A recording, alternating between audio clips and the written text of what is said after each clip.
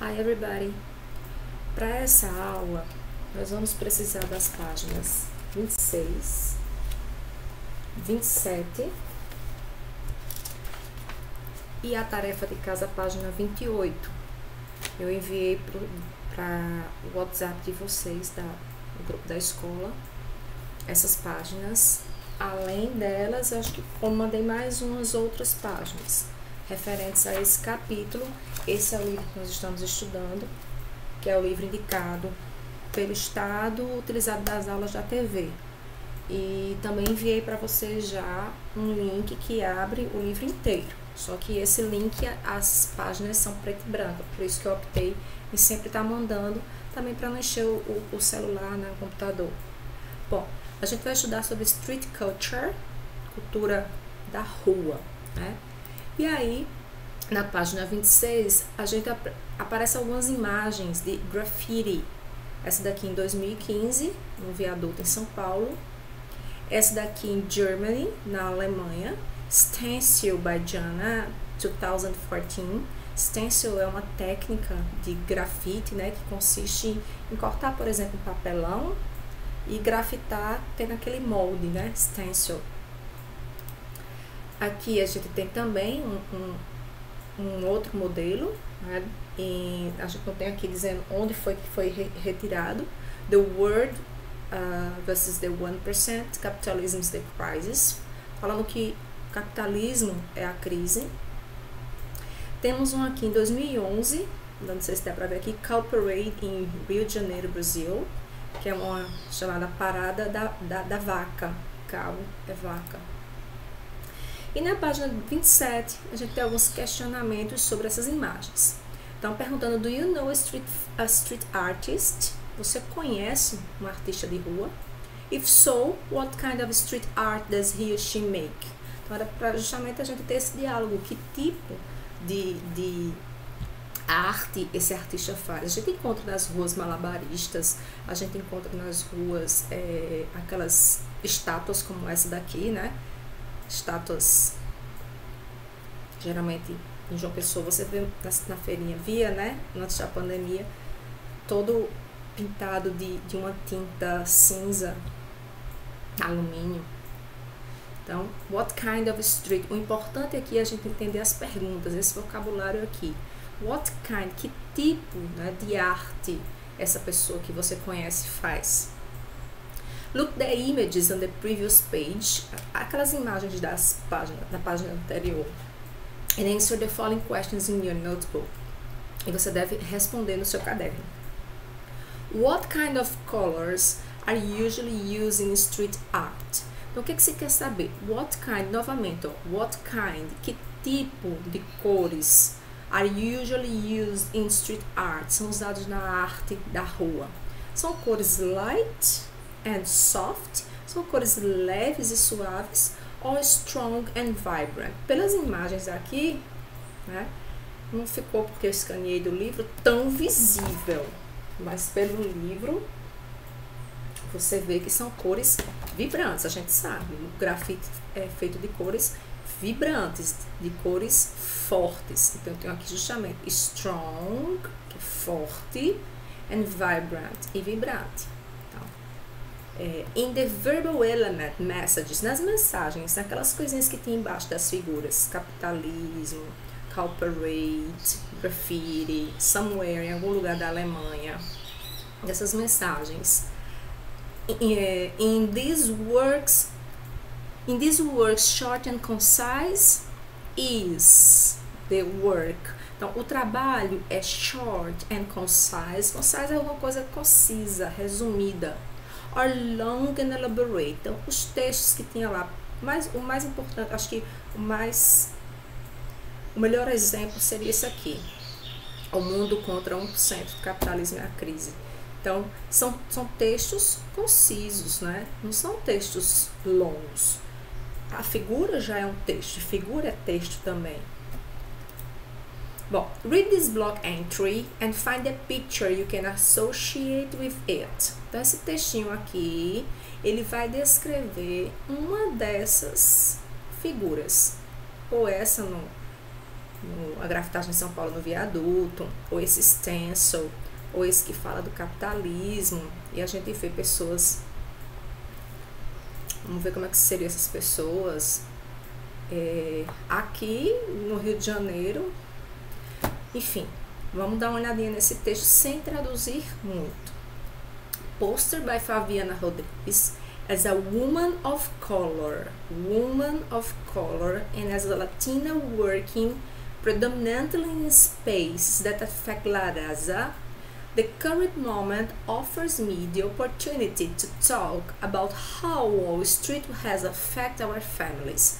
Teve um caso no Wall Street, remete à história, mas aqui está falando de uma mulher de cor. Mulher de cor, eu tenho essa figura e tenho essa, como mulher de cor. E fala em Wall Street. Né? Pode ser que tenha, esteja falando Wall Street é, uma, é um local de muito dinheiro nos Estados Unidos. Então pode ser que esteja se remetendo ao capitalismo. Vamos voltar para lá. Uh, in case you didn't see, Pew Research Center recently released a report on how Latino household wealth fell by 66% from 2005 to 2009. That means we lost two and a third of our community's assets.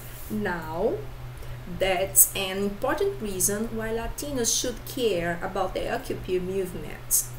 Bom, se vocês soubessem a questão do Wall Street, saberia que estava envolvido com o capitalismo. Então, assim, é muito importante que a gente tenha conhecimento prévio. Conhecimento de história, conhecimento de geografia, conhecimento de artes. Tudo isso aí, qualquer texto em inglês, ele sempre vai estar ativando o seu conhecimento prévio. Né? É, aqui fala de trabalho, de latinos, mulher de cor, esse Wall Street, Pew Research Center, que dá a ideia justamente de economia, é, household wealth, então, ou seja, a riqueza, wealth, a riqueza do trabalho, o trabalho que é feito em casa, o trabalho doméstico. Números, né? Esse trabalho doméstico ele caiu de 66% em 2005 para 2009. Isso quer dizer que foi, houve uma perda de 2% dos dos, dos, dos ativos da comunidade. Então, tudo isso aí, what images the previous page is, ref, is referring to, é essa daqui, the world versus the 1%, capital, capitalism is the crisis, capitalismo é a crise. Então, houve um, um número, diminuiu esse número, eu provo que diminuiu esse número quando eu disse lost, né? houve uma perda de 2 terços por cento da, dos ativos, das pessoas que, a, que trabalhavam ativamente na comunidade. Pronto, é esse aqui. Então, é, é possível que um texto apareça, por exemplo, não é nem um texto, a serrinha de unha, um texto e figuras, para você escolher qual a figura melhor representa aquele texto. Bom, based on text in activity 3, que é essa, What are some of the purposes of street art posters? Write down the answers in your notebook. Quais são os propósitos? Opa, purposes são propósitos dos posters nas ruas. Por que, que as pessoas colocam posters nas ruas? Por que, que as pessoas colocam outdoors nas ruas? Que outdoor é uma palavra no Brasil. Em inglês é billboard. Por quê? Qual a, a, os, o propósito de desse, dessa arte, do, aqui ele fala posters, mas das pessoas demonstrarem arte nas ruas. To criticize society, criticize, parece com que em português. Criticar. É para criticar a sociedade, eu já mostrei, né? É, é para criticar a sociedade também. É, às vezes você pode colocar um, um, um em João Pessoa tem um local próximo, na torre é, acho que é subindo a Pedro II, que tem um, um cartunista. Toda semana tem um cartoon lá e geralmente ele fala de política. Então, qual é o objetivo dele? Criticar a sociedade, fazer uma, uma são irônicos, né, satíricos, mas o objetivo é esse, criticar a sociedade, criticar a política, criticize. To decorate the walls, as pessoas fazem esses posters que nós vimos para decorar as paredes. Walls, paredes. Só para decorar? Creio que não. Decorar. To make art popular é para fazer a arte ficar popular. Discordo também. To denounce abuse, para denunciar abuso, sim. To promote films, esses posters, né, como a grafitagem ou esse outro que a gente viu, é para promover filmes. To address social issues, issues significa questões. Então, para mostrar questões sociais. Concordo com esse. Então, eu concordo com esses três aqui. Decorar paredes, não. Ninguém vai fazer um pôster falando sobre política, falando sobre coronavírus, só para decorar. Tem que ter aí por trás uma crítica, uma denúncia, né, é, interessar questões sociais.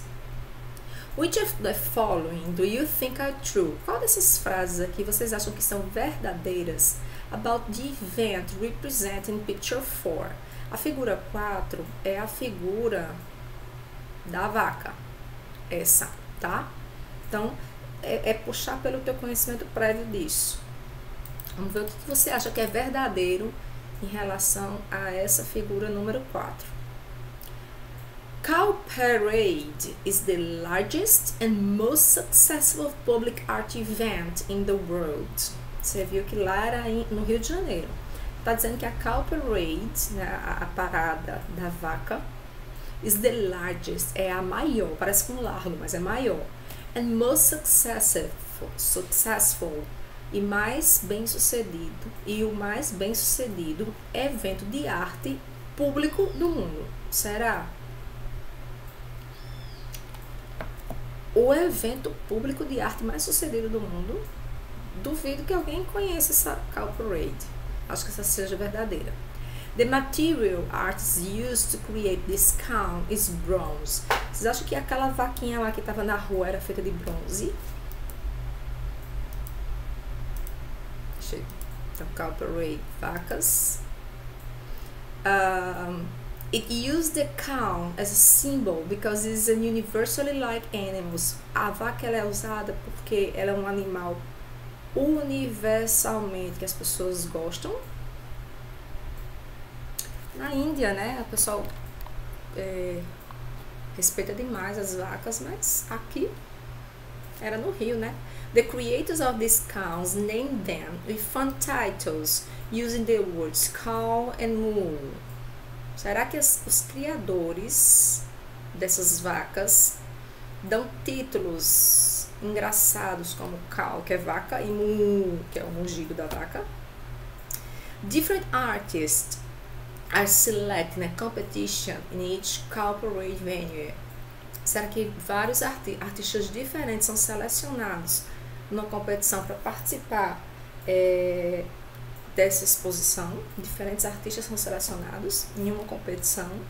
The whole series only include places in the United States and Europe. As cidades que são anfitriãs estão sempre nos Estados Unidos e na Europa. A gente já pode dizer que essa é falsa porque ali foi no Rio de Janeiro, né?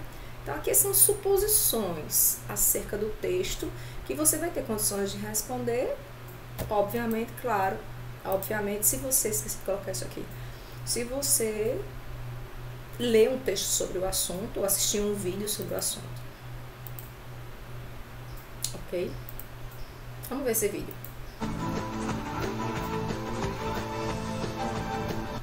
Só um minuto aumentar mais.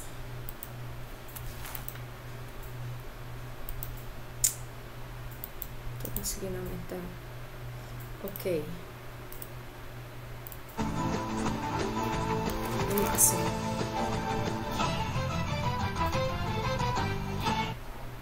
Muitos cariocas tiveram uma surpresa hoje cedo.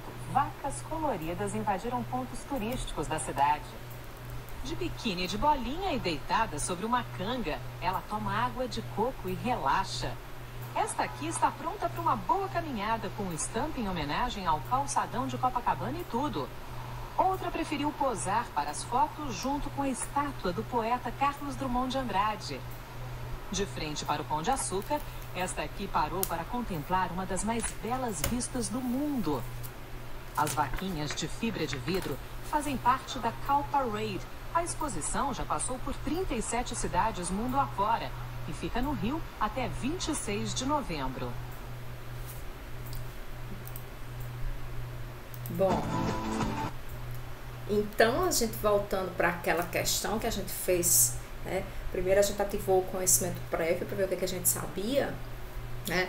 Calparade is the largest and most successful public art event in the world. É o evento, o maior evento do mundo.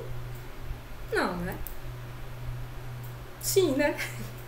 is the largest most successful public art event in the world. Eu ainda colocaria que não. A gente não tem essa informação, mas tudo bem. Uh, the material artists used to create this cow is bronze. Isso aqui ficou bem claro no vídeo que era fibra de, de vidro, né? It used the cow as a symbol because this is a universally like animal. É um animal, eles utilizam a vaca porque é um símbolo, é um animal universalmente querido. The creators of these cows named them with funny titles. Sim, é cow, um, The different artists are selected in a competition, sim. Em cada país que eles chegam, eles fazem uma seleção de, de, de, de artistas. The whole series only, cuidado com esse only, somente, include places in the United States and Europe. Isso aí a gente já viu pela foto que era errado. Eu só discordo um pouco da letra A. Count is the largest most successful public art event in the world. Eu marquei que sim, mas a gente não tem essa informação talvez um evento desse tipo. É, em Nova York tem uma vaca lá fixa. Então, é, e é símbolo de sorte você colocar a mão lá nas partes da vaca. Dizem que é símbolo de sorte. Então, eu fico na dúvida, a gente precisaria ter mais conhecimento para dizer se essa é verdadeira ou falsa. De qualquer forma, eu marquei. Marquei e fui pega de surpresa né, ao mesmo tempo. Bom, aqui são alguns grafites é, aqui é no Beco do Batman, em São Paulo. Lindo, né? Aqui, depois da pandemia, na Índia, na Alemanha. Aqui na Inglaterra. Isso aqui é o National Health Service and all keywords, ou seja, Serviço de, de Saúde Nacional e a todos os trabalhadores principais. Uma questão de solidariedade, saudando essas pessoas. Aqui no prédio, ó, em, na Rússia, China, Rússia, Rússia. Ó, pela roupa a gente já tem como, parece que na areia, né? Palestina. Did you know Alex Hornest, 1972, known as Honesto, is a Brazilian painter and sculptor. He lives in São Paulo and his work reflects urban themes. Esse cara aqui nasceu em 1972, né? o nome dele é Alex Hornest, mas ele é conhecido como Honesto. Ele é um pintor, ele é um escultor de São Paulo e no seu trabalho ele reflete temas urbanos. Vamos ver.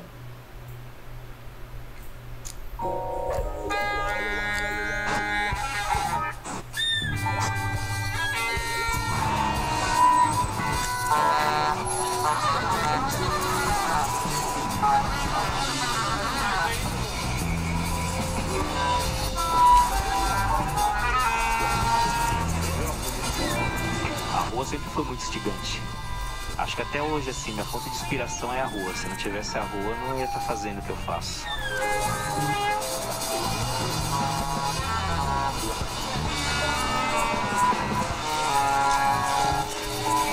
Eu sempre acreditei que grafite também é uma coisa muito egoísta. E eu não preciso fazer grafite apenas com uma lata de spray ou com tinta na mão. Tudo que eu esteja deixando na cidade, esteja propondo alguma ideia, para mim é grafite, sabe?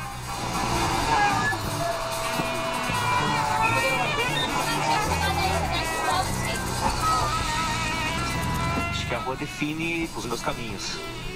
Porque desde muito novo eu sempre observei a arquitetura da cidade, as obras de arte que existem na cidade, arte pública, tipo escultura, painéis. E com isso a minha imaginação foi crescendo e eu comecei também a perceber que outros objetos também poderiam se transformar em arte.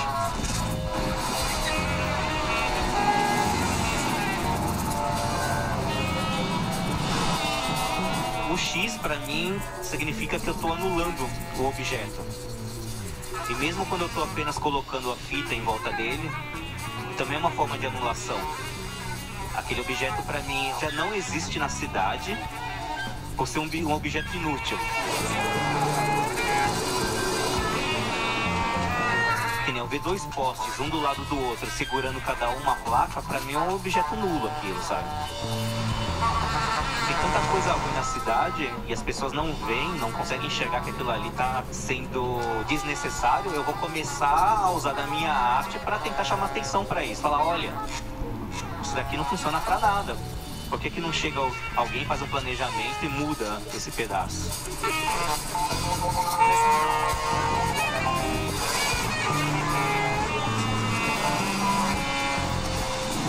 Eu sempre acreditei que eu posso fazer arte com qualquer coisa que cair nas minhas mãos. Porque comecei a entender que a partir do momento que você se engaja com alguma coisa, que você começa a disseminar os seus pensamentos, você também está fazendo política.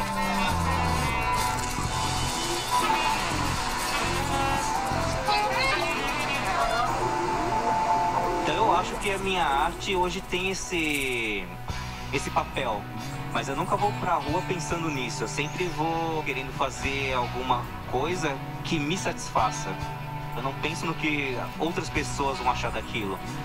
É sempre chegar, a me apropriar de um espaço, ter uma ideia, executar ela e, sabe, não é mais meu. Mas o momento que eu tô fazendo aquilo, no momento que eu tô criando algo, aquilo é muito gratificante.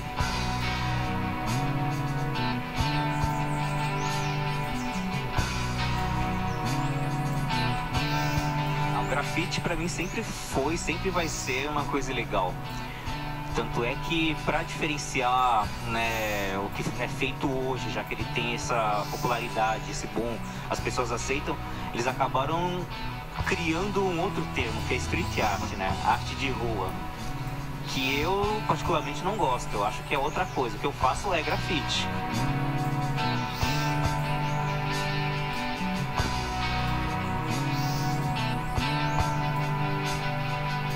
Com a minha arte, eu acho que consigo criar um, uma curiosidade ou acordar algumas pessoas falar, ó, oh, tá acontecendo isso aqui, e aí o que a gente vai fazer? Vai continuar passivo?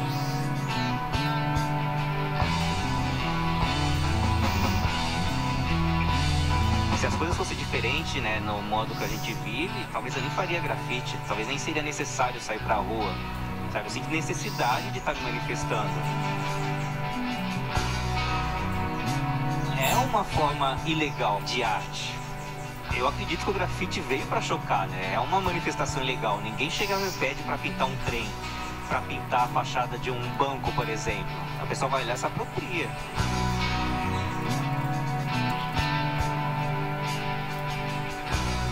Hoje grafite para mim é uma coisa muito particular, uma coisa muito minha. Acho que conforme eu vou ficando mais velho, eu vou entendendo melhor o que eu faço, o que, que, por que, que eu faço isso, o que, que eu vim fazer nesse mundo.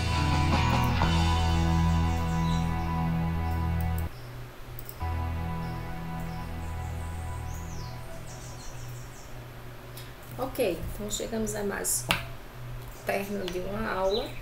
É, vocês terão para casa um formulário sobre esse texto do grafite. Tem um videozinho também que eu leio o texto e vou trabalhando o vocabulário. Então é ideal que você pegue seu caderno, vá fazendo as anotações de vocabulário no seu caderno também.